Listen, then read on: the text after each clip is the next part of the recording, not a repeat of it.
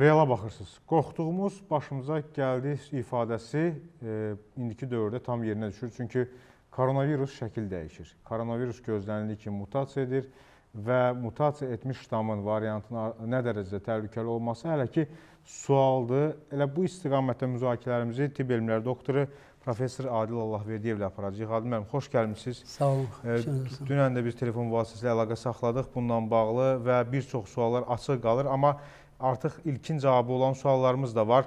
Böyük Britaniyadan ayaq açıb artıq Avropaya və dünyaya yayılmaqda olan yeni ştamın, belə deyək, virusun bir qolunun təhlükəsi nə dərəcədə ciddidir?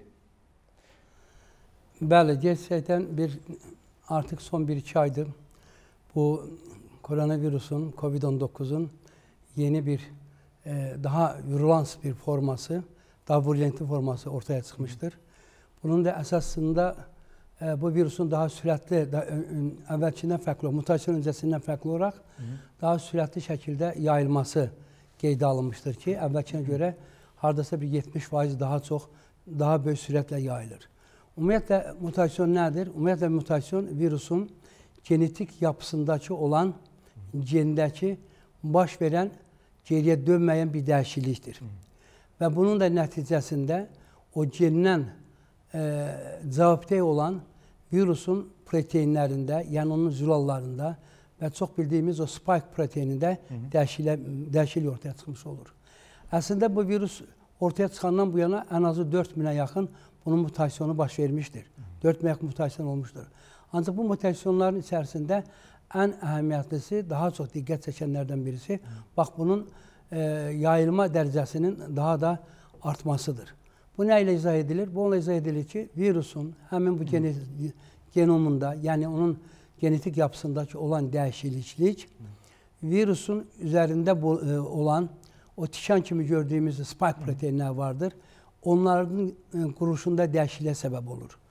Orada hardasa bir 1255'e yakın amin turşu vardır. Diyelim valin, leysin, izolesimin amin turşular vardır. O gende baş veren değişiklik o amino asitlerin de düze, e, dizilişinde yani sırasında da farklı, farklıya sebep olmuş olur.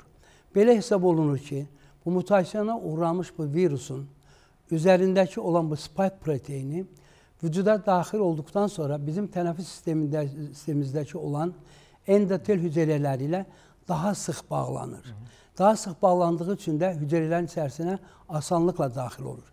Düşünəlim ki, əgər biz əgər bizim vücudumuza bir 50-100 dənə virus giribsə, daha öncə deyəlim ki, onlardan 5-i, 10-u, yaxud 15-i daxil olursa, indi 70%-ə yaxın daha çox virus vücuda daxil ola bilər. Yəni ən az virus vücuda daxil olsa belə, onların vücudu yoluxdurma dərəcəsi daha yüksək artmış olur. Ona görə də Bak bildiğiniz gibi Avrupa ülkelerinde artık 4-5 ülkede bu süratle yayılmaya başlamıştır hı hı. ve büyük bir panike sebep olmuştur. Ancaq mən belə gəlir ki, bunu çox da panik etmək də lazım deyil, amma bu bir mutasyon da olmuşdur. Əlbəttə, e, bəlli bir dəyişikliklər ortaya çıxacaqdır. Bu dəyişikliklərin arxasında nələr ola bilər? Bir, madəm virus hücrə içərisinə daxil olur, sürətlə daxil olur, hı -hı. ola bilər ki, o biri hüceyrələrdə çoxaldıqdan sonra digər hüceyrələri də daha sürətli şəkildə infektə edə bilər. Bunlar sadəcə düşüncədir mən söyləyirəm. Ola bilər xəstəliyin klinikası da fərqli gedə bilər, xəstəliyin klinikası daha sürətli gedə bilər və s.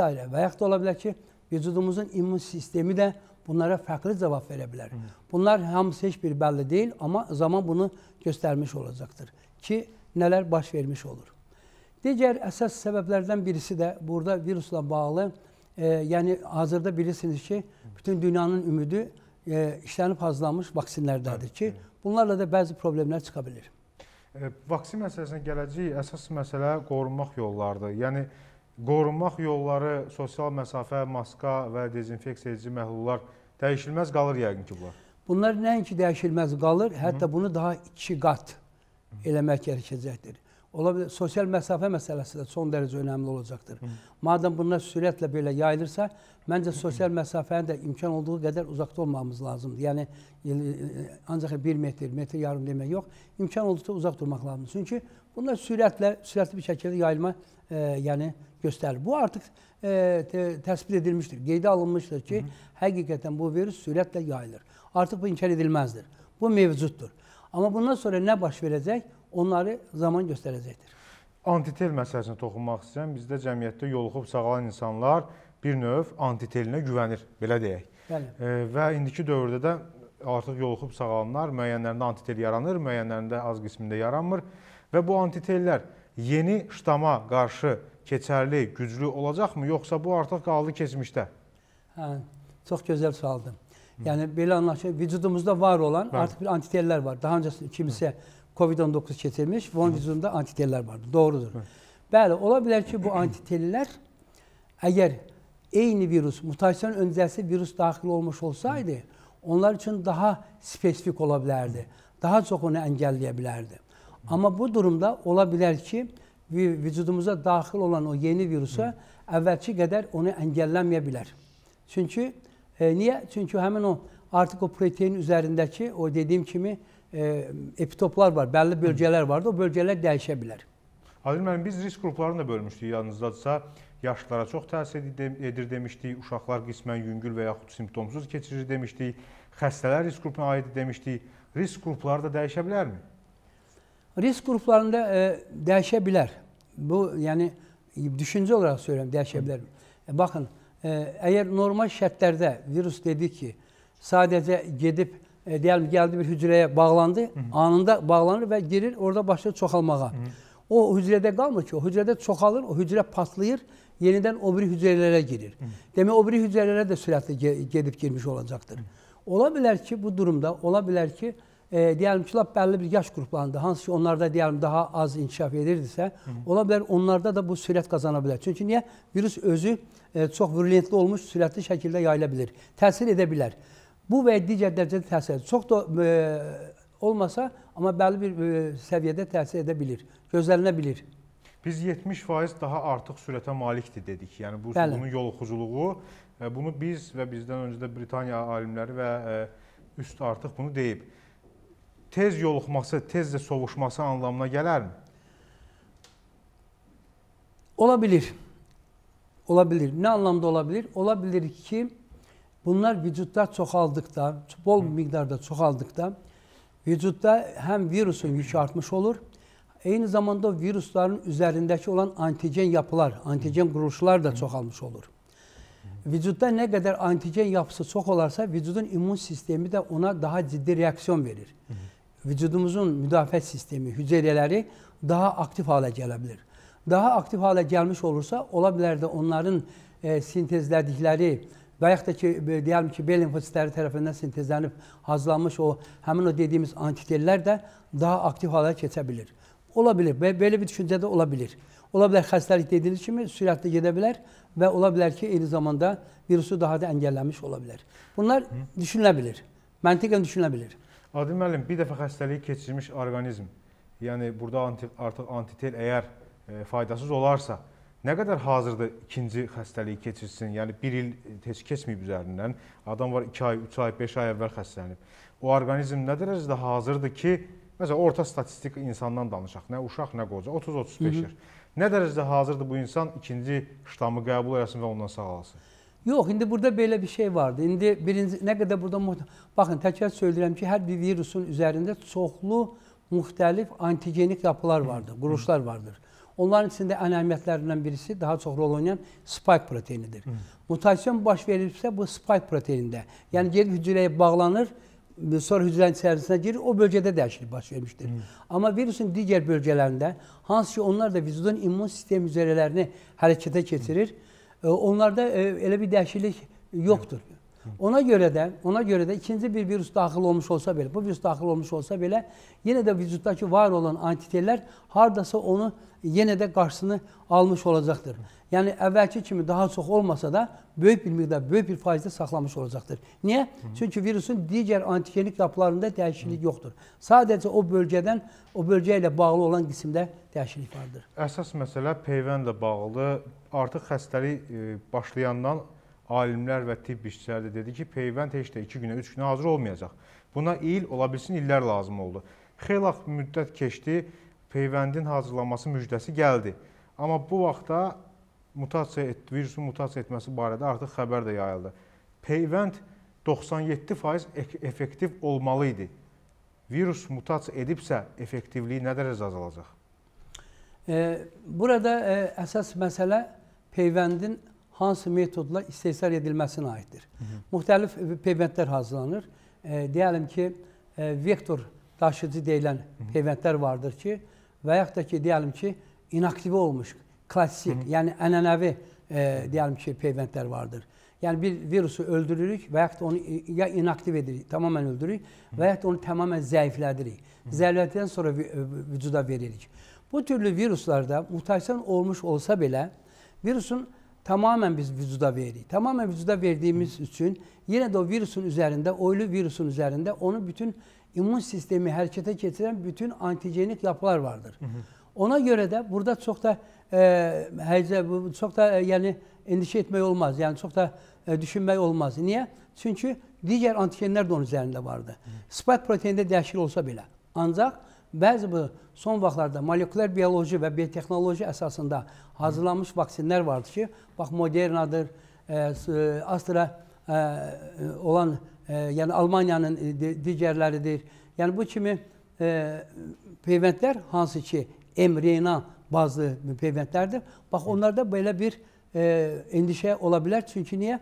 Çünki onlar spike proteinindən sorumludur. Hı -hı. O proteindən ki orada dəyişiklik vardır. Hı -hı. Ona görə də olabilsin ki, tamam indi artık hemen ayrı ayrı bu firmalar, şirketler, devletler, devlet başçıları e, hiçbir şey olmayacağını ifade edirlər. Tabii ki burada ekonomik ve vesaire maraklar da vardır. Ama ilmi nöqteyi nəzərdən biz yani bu meseleye yanaşmış oluruksa məntiqən ola bilir. Ola bilər ki, həmən o spike proteini, hansı ki vaksin hazırlanmış, ola bilər normalda %95-97 faiz söyləmiş olurdusa, ola bilər onun effektivliyi aşağı düşmüş olsun. Tam da düşməyə bilər, amma düşməsi gözlənilir. Niyə gözlənilir? Çünki həmin o proteində əmələ gələn dəyişiklik vücudumuzdakı immun sistemə, xüsusilə B limfositlərini oyarır. Onlar antitellər əmələ gəlir. O əmələ gələn antitellər, o əmələ gələn antitellər gedib o bölgəyə bağlanmalıdır. Hı. Amma biz vücuda virusu vermirik. Vücudun bu daha öncə hazırlanmış e, vaksini veririk. Bu zaman bu zaman artık bizim elimizdeki olan antitel, yani əmələ gələn antitel, e, yəni gedib o bölgə ilə bağlanmayacaqdır. Hı. Vaksinin verdiyi, əməl gətirdiyi antitel, kısaca söylesek, vaksinin əmələ gətirdiyi antitel mutasiyadan öncəki virusun proteininə qarşı idi. Amma mutasiya e, ona qarşı idi. Ona görə də o onu yakalar. Amma mutasiya olmuş bir virus daxil olurmuş olursa, vaksinin meydana gətirdiyi antitel gedib o bölgə ilə bağlana bilməz. Bu mutasiya ilə bağlı proqnozlar var idi. Virus çıxanda da yəni ki, belə bir ehtimallar var idi ki, mutasiya edərsə nə etmək olacaq? Və bir sıra mütəxəssislər o dövrdə qeyd etdi ki, biz koronavirusu mövsümi də qəbul etməliyik artıq. Mövsümü qəbul ediləcək qədər yüngüldürmü, yoxsa vəziyyət qəlizləşir? Yəni çünki mövsümü o zaman qəbul edərsən ki, itkilər çox az olar. Bəli, yox, mövsümi olaraq qəbul etmək olmaz məncə. Çünki virus istədiyi şəkildə mövsümə bağlı olmayaraq Hı -hı. sürətli şəkildə gedir. Yəni artıq o bir mutasiyona uğrar, artıq o e, biolojik xüsusiyyətlərini dəyişir, virulanslığını dəyişdirir və s. dəyişdirmiş olur. Hı -hı. Görürsünüz ki, bu şəkildə getmiş olur. Yəni bunu e, məsələn biz qrip virusu kimi deyək ki, məsələn qışda aktivləşəcək, yayda tamamilə yox olacaq. Belə bir ehtimal artıq Yox, yoxdur. Təbii ki, o, e, təbii ki, o artıq gündəminə çıxır. Yazda da var idi, avqust ayında da var idi, söyləndiyi kimi. Hə, yazda az idi. Niyə az idi? Çünki əhali bu qədər sıx deyildi. Əhali e, ayrı-ayrı məsafələr var idi. Amma ikinci bir digər tərəfdən bu mutasyon yox idi. Bax bu mutasyon yox idi. Təbii ki, mutasyon yayda da olsaydı çox yayıla bilərdi. Orada 70 yox, 30% daha çox yayıla bilərdi. Amma indi əhalinin sıx olması, qış vaxtı bir araya gəlməsi bunun sürətlə yayılmasını daha da sürətləndirmiş olur. Adil müəllim, məsələlərə real baxaq. Biz indiki koronavirusdan söhbət ənənəvi virusdan gedir. Onu heç bir ölkə öz hüdudlarından içəri buraxmağın qarşısını ala bilmədi. Hər yerə yayıldı. Əgər yeni ştam 70% daha sürətlə yoluxursa, onun yəni Azərbaycana ümumiyyətlə bütün dünya ölkələrinə yayılmasının qarşısının alınması demək olar ki, ehtimalı sıfırdır. Yəni mümkün deyil. E, e, sıfır da olmasa çox aşağıdır. Çox, Çünki baxın, Avropa ölkələrində artıq 3-4 dövlətdə artıq yəni bu yayılmağa başladı, sürətlə yayılmağa başladı. İndi deyəlim bəzi dövlətlər bildiyim qədərilə Türkiyədə deyəsən Avropa ölkələri ilə olan e, təyyarə əlaqələrini kəsmiş Kəsin. oldu. Amma nə olursa olsun mütləq, mütləq insanoğludur. Bir yolla gəlib e, çatacaqdır. Bir virus bəs eləyir. Hə, bir həftədə olmasa, 10 gündə olmasa, gündən bir gün gəlmiş olacaq və infeksiyanı yayılacaqdır. Əslində elə burada bu e, COVID-19 ilə mübarizənin ən böyük çətin problemlərindən biridir ki, bu dünya çapında yayılmış bir infeksiyadır. Sadəcə bu bölgə deyil, lokal deyil, yəni ölkələri aşan bir şeydir. Proqnoz vermək e, yenə də qəlizləşdi və peyvənd məsələsində biz ola bilərmi ki, biraz da artıq vaxt itirdik və bu peyvənd məsələsini artıq müzakirəsinə təzədən qayıtsınlar, onu işləyib hazırlayanlar. İndi e, əlbəttə dəyişikliklər ola bilər. Onlar mütləq araşdırılacaq, mütləq qiymətləndirilmiş olacaq. Əgər həqiqətən də görmüş olsalar ki, bu peyvəndlərin ona bir e, bunu e, eləmək onlar üçün çox da çətin bir deyildir. Həmin xəstələrdən o viruslar izole ediləcəkdir. E, İzole edildikdən sonra e, eyni zamanda o daha öncə mutasiyona uğramamış vaksinlərdən əldə edilmiş insanların e, plazmalarında, serumlarında olan antitellərlə onları nötralizə edəcəklər və orada biləcəklər. Həqiqətən bunu tutur tutmur. Məncə bunu qısa zamanda biləcəklər. Bu çox zaman almaz. Qısa zamanda biləcəklər ki, e, köhnə vaksinlər, mutasiyadan öncəki e, vaksinlərin əmələ gətirdiyi antitellər bu virusları nə qədər əngəllər. Bu bilmiş olacaqdır. Əgər elə bir şey olmuş olacaqsa, əlbəttə hər şey sıfırdan başlanacaq. Nə anlamda sıfırdan başlanacaq? Bu e, mutasiyona məruz qalmış virusların həmin o bölgələri izole edilərək təkrar araşdıraraq birinci, ikinci aşamanı keçmiş olacaq. Bu çətin bir prosesdir. Amma bu sayədə mən onu söyləyim ki, Azərbaycanda bizim səhiyyə sistemimiz, e, yəni bu məsələlər e, təbibin elmi komitəsində də durmadan davamlı olaraq aylardır müzakirə edilir. Hansı vaksin alınsın, hansı vaksin alınmasın e, çox ciddi şəkildə müzakirə edilir. Və müzakirə edilən məsələlərin birisində e, hər zaman e, deyəlim ki, inaktive olmuş, virulanslığı e, əldə e, ortadan götürmüş, öldürülmüş virus aşılarına e, nədir, e, daha çox önəm verildi. Ki, bu məsəl üçün Çin bunu əldə etmiş olur və uzun illərdən bəri, 1993-cü illərdən bəri Çin bu sahədə e, çox böyük təcrübə sahibi olan bir e, yəni firması var, şirkəti vardır. Yəni burada Çin deyib durmaq doğru olmaz. Çünki bu e, onlar elə bir şeydir ki, bu heç bir e, yəni ölkədə kənardan elə belə şəkildə bu istehsal ediləməz. Bu ciddi bir şeydir. Və bu baxımdan ona görə də əgər Azərbaycanımızda e, bizim bu vaksin e, tətbiq ediləcəksə, tamamilə e, yəni bu baxımdan bizim bu baş vermiş e, mutasyona bağlı çox heç bir şeyimiz, e, həyəcanımız olmamalıdır. Test məsələsinə gələk. Hazırda test edirik biz və bi- bizə bəlli olur ki, biz yoluxmuşuq yoxsa yox. Yeni ştam testdə göstərirmi ki, bu yeni ştamdır, yoxsa onun ayrı bir test var? Çox gözəl sorular versiniz. Təşəkkür edirəm. Gerçəkdən. Hə, əlbəttə bu testlər nə, nədən ibarətdir? Təbii ki, burada testin ayrı testlər vardır. Baxır hansı testlərdən istifadə edilmiş olur. İndi ola bilər ki, bir molekulyar test, bir PCR yapılırsa, PCR yapılırsa, orada deyəlim ki, e, bəlli bir primerlar deyilən bir şey vardır. Orada de, RNT-nin, DNA-nın sintezi üçün. Ola bilər ki, hər birisi üçün spesifik həmin o bölgələr vardır ki, o diaqnostikada istifadə edilmiş olur. Ola bilər ki, burada da baxıla bilsin. Tam olmaya bilər, amma soru verə bilir. Daha öncəki sistem dəyişmir, metod dəyişmir. Amma sadəcə orada primerlar deyilən bir şey vardır. E, o, o, o acıdan e, ola bilər ki, incələnmiş olsun. Soru çıxara bilir. Hı. Son olaraq biz e, ilk virusda mütəxəssislərdən məsləhətlər aldıq, nə edək, necə qorunaq və s. Yeni ştam köhnəmi qaydalar, yoxsa yeni ştam yeni qaydalar? Yeni ştam köhnə qaydaların təkmilləşməsi, optimizasyonu daha da ileriyə götürülməsidir. Yəni daha da onu biz e, perfekt hala, daha da e, təkmil hala gətirməliyik. Yəni mütləq onlar qaçınılmazdır. Onlar e, qızıl standart olaraq qəbul etməliyik. Məsafə məsələsini, amma məsafə daha ciddi olmalıyıq. Yəni maska məsələsinə hər iki tərəfdən çox ciddi olmalıyıq. Gigiyenik qaydalar daha çox ciddi. Əvvəlkinə görə ən azı 70%də biz daha çox e, yəni bu işdə daha çox duyarlı olmalıyıq, həssas olmalıyıq. Təşəkkür edirəm Adil müəllim, minnətdaram. Çox sağ Sağ olun. olun, çox sağ olun, təşəkkür edirəm. Sağ olun. Virus sürətlə dəyişir, mutasiya edir. Adil müəllim də dediyi kimi biz də virusla heç olmasa ayaqlaşmalıyıq. Ən azından onu məğlub etmək üçün heç olmasa onun qədər sürətli olmalıyıq. Hələlik.